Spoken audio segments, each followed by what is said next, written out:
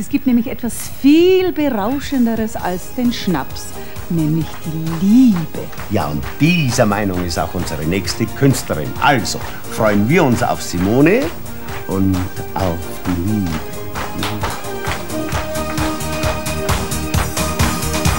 Ein Tag wie viele andere, etwas regnet.